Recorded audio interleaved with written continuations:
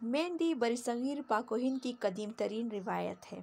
ये एक ऐसा फ़ैशन है जो हर उम्र की ख़वातीन बिला झिझक इस्तेमाल करती है। पुराने वक्तों में हेना, महज शादी ब्याह की तकरीबात या ईद वगैरह पर ही हाथों पर लगाई जाती थी। लेकिन जैसे जैसे वक्त आगे बढ़ रहा है, इसमें जिद्दत आ रही है।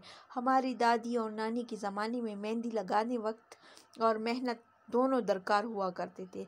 मेहंदी के पत्तों को सिल पर पीसा जाता था और फिर हाथों पर टिकिया या उंगलियों के पोरों पर लगाया जाता था, जिसके बाद घंटों बाद दिलकश रंग आने का इंतज़ार किया करते थे। लेकिन आजकल मुख्तलिफ़ रंगों वाली मेहंदी की कोने बासानी दस्तियाब होती है और आजकल मेहंदी लेना और लगाना कौन सा मुश्किल काम है? अगर बात की जाए मेहंदी के डिज़ाइन डिज़ाइन के हवाले से तो अब काफ़ी कुछ तब्दील हो चुका है। लड़कियों की पसंद में भी खासी तब्दीली आई है। मैंने यहाँ कुछ मेहंदी के डिज़ाइन इकट्ठी की है, जिन्हें जिन्हें आप ईद के हवाले से इनसे आइडिया ले सकते हैं कि हम कैसे मेहंदी इस्तेमाल करें, कैसी चूड़ियाँ पहने, इसके साथ कैसा डिज़ाइन बनाए।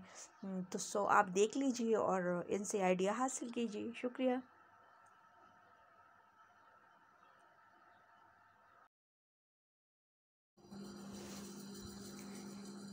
ईद की खूबसूरत मेहंदी, रंगारंग डिज़ाइन, कलरफुल।